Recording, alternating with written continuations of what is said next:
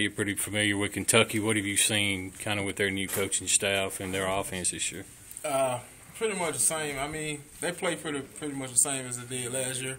Only thing I can say is we just uh, we've been preparing for them over this, ba- this past bye week, and uh, we're preparing for them this week, and uh, we're gonna try to do the best we can to just shut them down. They got more injuries at quarterback again, just like it was last year when y'all know if they were Whitlow out.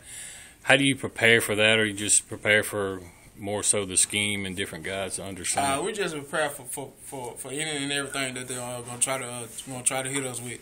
Uh, Coach Collins been putting us in great position all week, all last week, and uh, I think we're gonna be, be ready on Thursday night.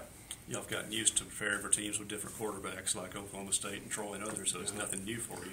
Uh, nah, I mean we, we know we pretty much gonna practice on anything that they shown this year. We're gonna practice on that, and Coach Collins he, he does a great job on getting us prepared. Coach Mullen made the comment yesterday that Kentucky gets a lot of yards, but they've had some red zone issues. They don't finish drives, but they've got that explosive potential. Uh, they have an explosive offense. I know. I mean, on any given night, you know anything can happen. So we prepare for for whoever they try to hit us with, and we're gonna go out and play our hardest.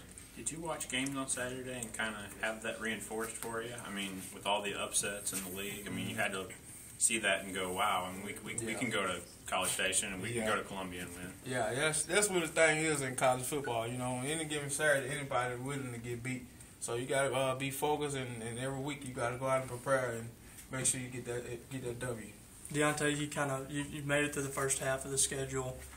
When you reflect on the first half, and what do you think? What what is something that comes to mind that y'all really needed to work on? Maybe Uh, things that you did well. I just feel like we got to finish. You know, every game we, we, we put we put up a great fight. Every game I feel like.